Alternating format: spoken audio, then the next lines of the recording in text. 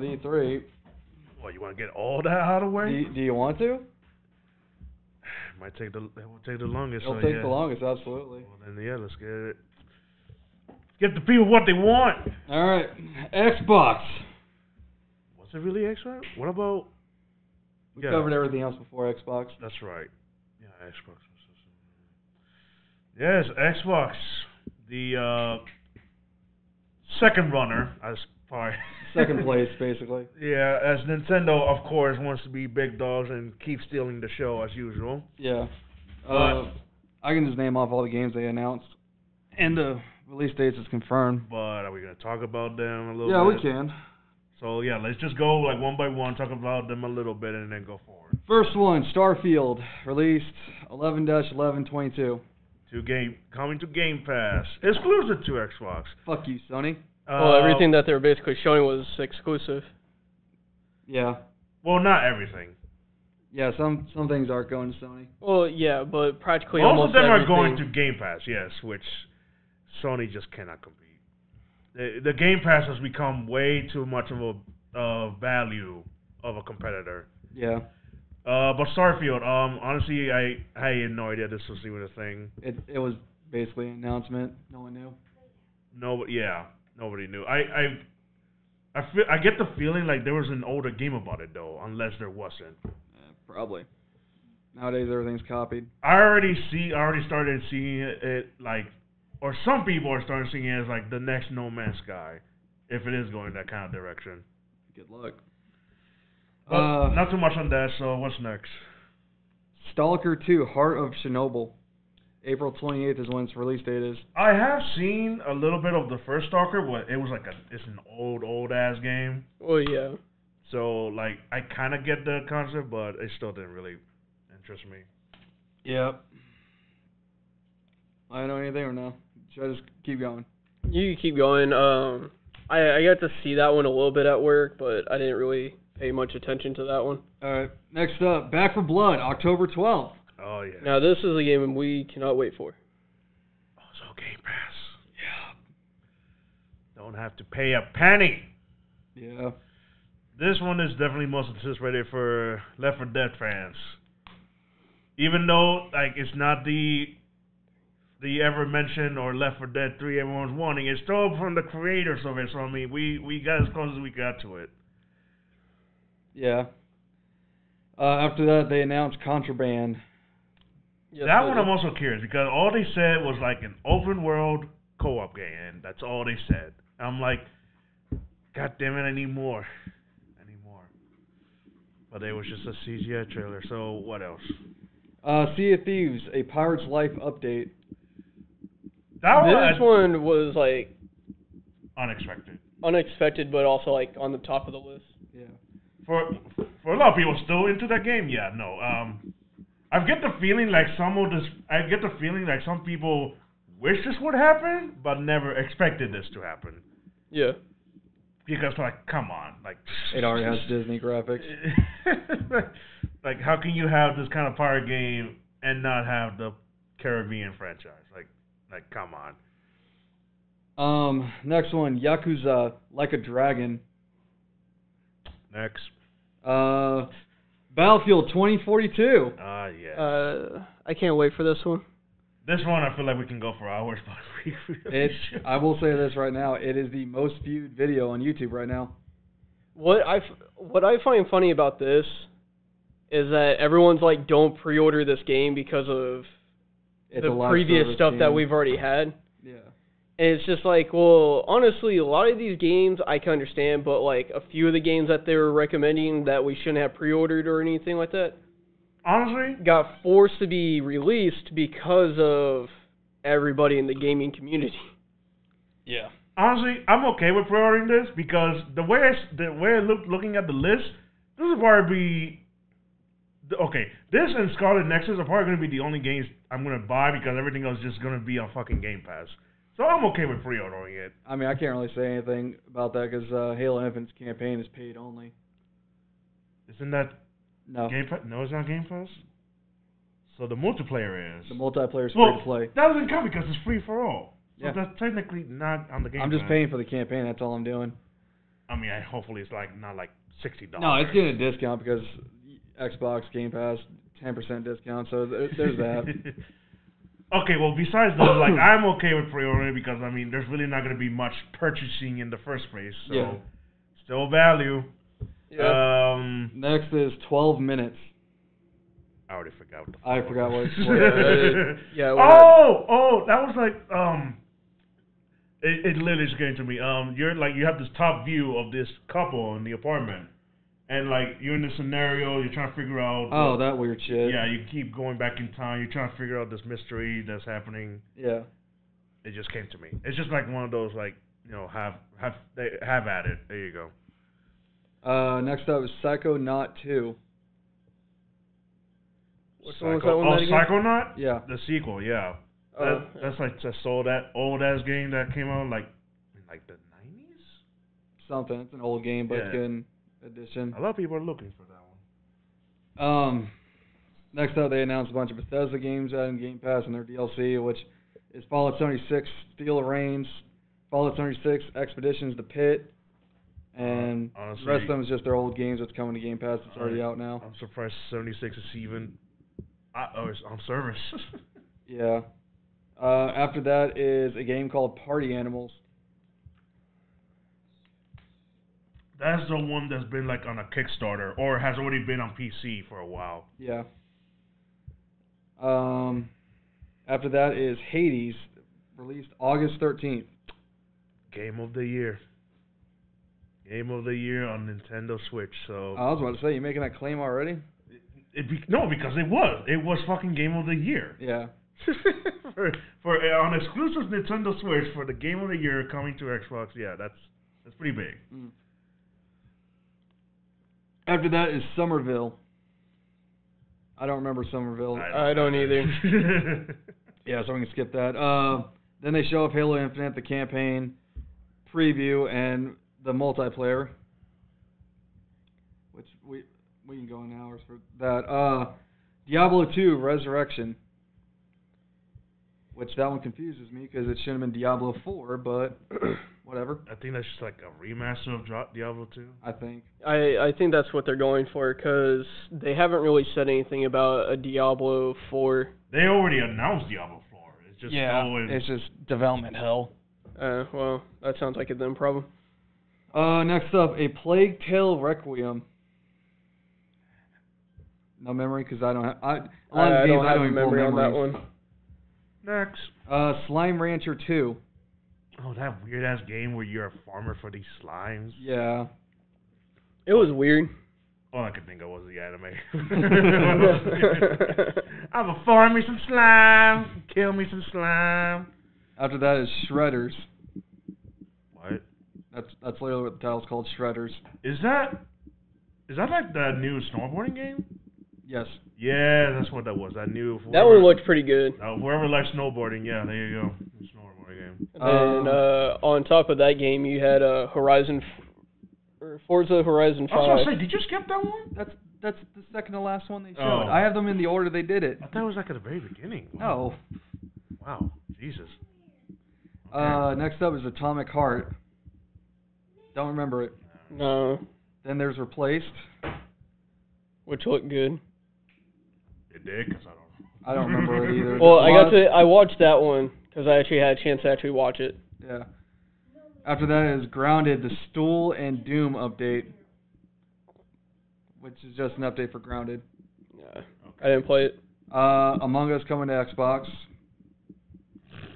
I mean, hey, it's still popular apparently, especially with the new 15 player lobbies. yeah, I'm not really surprised about that since that's going to Sony. Also, uh, next up is The Ascent. I saw that for like pre-order, but I literally already forgot what the hell it was about. Yeah. Uh, Age of Empires 4, Yeah, whatever. Skip. The Outer Worlds 2, Skip. Flight Simulator for Xbox July 27th. Now that one I'm interested, just because it's coming to Xbox, and I'm actually curious, like uh, looking at uh, sp- uh, specific locations where to fly around north. That was I'm, I'm a little interested. Then Forza Horizon 5. And Yeah. then Redfall. And then if you looked at this game, uh, this one's actually going to take place in Mexico. The Forza, right? Yeah. Yeah. Yeah, Forza. Mexico. What was the last one? Europe? Was it la- London, Europe? Or, or- Somewhere around that area, yeah. It's just, uh, honestly, I got really bored. Even though I played that for like a good week or so, like I just got bored with that kind of area. well, it, it wasn't really anything special. It was more trees than anything else. It, wa- it was really more snow and rain that got annoying to me. Uh, you got those. That's why climates, Mexico so- now the Mexican city or Mexican setting is now more interesting because of the la- the sand, the fucking volcanoes, the jungle, and all that shit. I was disappointed I didn't see any crashing. I just want to see one wreck. Well, it's Sure not really the point of the game, so. Bullshit. Well, they they can occur. That was it for Xbox. The second place oh, winner. well, you forgot Halo. no, I said Halo. I, d- I deleted the list as I went. I said Halo and said We just didn't The- talk about it. yeah. we'll talk about that for hours. okay, my bad. you good. Then after that was Square Enix. I think I, it was like the Guardians game. That was it. Yeah, I, Guardians I of the remember. Galaxy released October 22nd. It looked interesting, but I don't know if I would It get still it. is, to, in my eyes, a Marvel DLC. Like That Marvel game. Yeah, no, I, I, it it looks interesting, especially for if it's only single player focused. But I don't know if I would pay the full price for it. Yeah, then they went on for a while. Final Fantasy 1 through 6 remastered that they're doing. Eh. Uh, then Legends of Mana, June 24th. I don't remember this game. I don't know. Then they showed off the Marvel DLC for the the Marvel Avengers game. Then they w- went on about mobile games. I didn't write that down because who cares about mobile games? Yeah, there's a few, but There's a none few. of us. Yeah, none of us. Says, says the guy who's obsessed with Dragon Ball Legends. Shut the fuck up. Oh, that's Dragon Ball. Still a Uh, mobile game. Eh. Life is Strange remastered. No wait, Babylon Fail. Sorry, I skipped. Babel- Babylon. Yeah, Babylon Fall. Ba- Is it Babylon Rogue? No. No, I just said Babylon Oh yeah, Fall. Fall. What the fuck was that about? I don't remember. Uh, then Life is Strange remastered September 30th. I don't need to play the remasters. They look cool, but I don't need to play them. I don't see a difference with the remaster and the original. I really don't. That, but I am gonna try out the new one, the True Colors, which is what what next one. Uh, Stranger of Paradise. That that was the last thing they showed.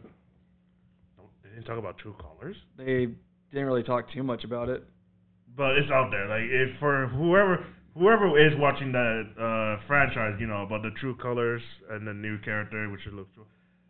What was the last one? Stranger of Paradise. Uh huh. Uh, I don't remember it. Like I said, most of these games look like indie games to me. And I was not really that interested in the indie games. Yeah, I don't. Uh, Who's next? the PC showcase and Razer, but really you could skip Razer because they went an hour talking about a laptop and no games. PC, they just went on about games that's coming to PC, which is already out like two or three years ago. Okay, well we can skip on that. Then there's the Future Game Show. Honestly, I only remember that that VR tour they went through just to talk about all these indie games. Yeah. That's the only thing I remember.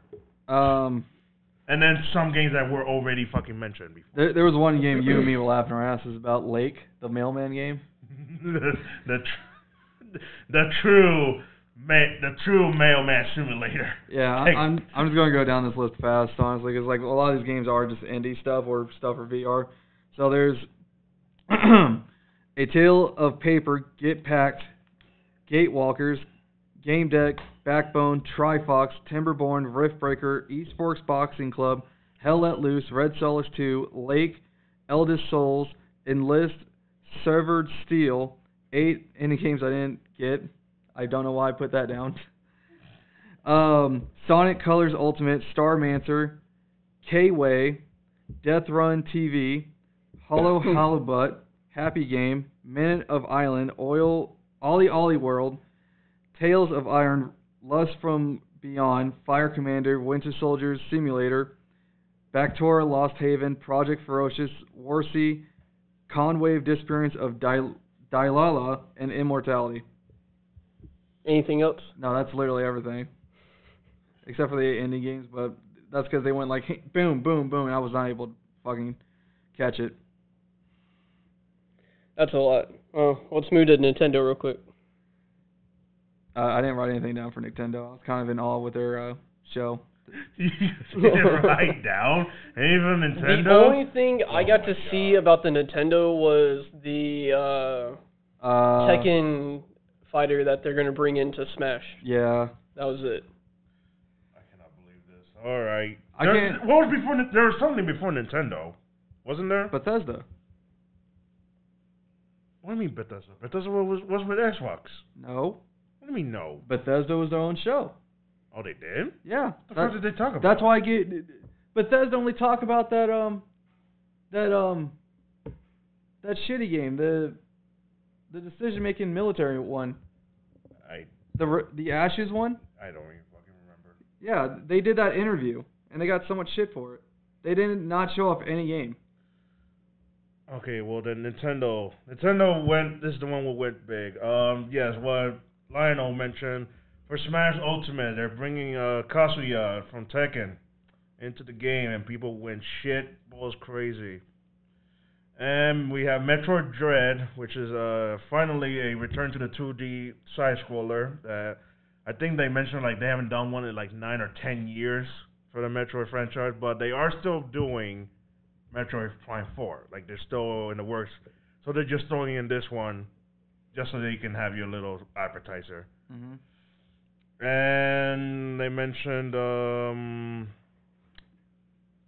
Shin Me Shin Megami Tensei. Did you even see that one? No. It one that was one this one looked this one was the one where you like you can fight demons, fuse demons, hell even talk to demons. It's all about demons. Okay. this is demons galore. Ah yes, the Mario plus Rabbit Sparks of Hope. Well, we even got that on Thursday. No, Friday. Yeah, that's right. That, 'cause that was Ubisoft, but at the end of the day, Well, it's for Nintendo, yeah. yeah. Um, it looked interesting for me because I did play the first game. I would say, you know, I know you don't have it, but I would like if any chance you ever just see if you ever get the chance to play it, I would play it, but you know it's up to you guys. Another Mario Party Superstars. If you're a Mario Party maniac, why Wario fucking the Wario game? Do you guys remember playing the Wario games before? Oh man, those shit I was wasn't much of a Mario fan. what man? Those those mini games were fun though. Oh man, I remember the Wii Mario games. Man, those shits were fun. I tend Uh, to block the Wii out of my mind. I tend to block the Wii out of my mind. what? How can you say that? That was a monstrosity. The Wii U was a monstrosity, but the original Wii? No. Come on. I have some good memories for the original Wii. uh, for the billionth time that they keep fucking announcing Monster Sto- Monster Stories 2, I swear to God, they have talked about this game so much that you kind of get sick about hearing it before it comes out. They've talked about that game so much. Yeah, they're bringing Life is Strange to the Nintendo uh, platform. Mario Golf, if you're a golf person. Uh, the return of Super Monkey Ball. I've known about it. I just did not give a shit about it. No More Heroes 3. Uh, Fatal Frame. Fatal Frame is a very, very beloved franchise. It's the one where I don't know if you ever seen first about like where you t- use a camera to capture ghosts, defeat them and shit. Used to be one of the scariest games franchise for a while back. I kind of briefly remember. Cruis'n Blast, which honestly looks like one of those arcade games, driving games. Didn't look that interesting. Just oh. Dance 2022. Yeah, we'll skip that. They also put Kakarot for Switch, the Tony Hawk games for Switch, Warm Rumble. We'll get some shit about that. And then the most anticipated one, Breath of the Wild 2 for Zelda. That one's the one that like just Stole the show. it stole everything. Yes, not just the show, everything. It was the most anticipated game for the entire E3 from a, a bunch of polls. Even more than Halo, even more than Battlefield. That game, we don't even need to get into that. Just how big it was. So, what was next after Nintendo? Nothing, I think. the Nintendo was the last of it. Yeah. No, there was something after Nintendo. What? I just can't. It, oh, I just can't remember. There was the Nintendo Treehouse, the three-hour stream of them showing off every game. Then after that, Oh, Microsoft- Bandai. But they only Bandai only did like one fucking game. Talk about so okay, we're done. Whew. Yeah, then after that, uh, Xbox did their showcase preview, going in depth dive to all their trailers with developers. But really, you can watch that on your own. Yeah. Well, what about uh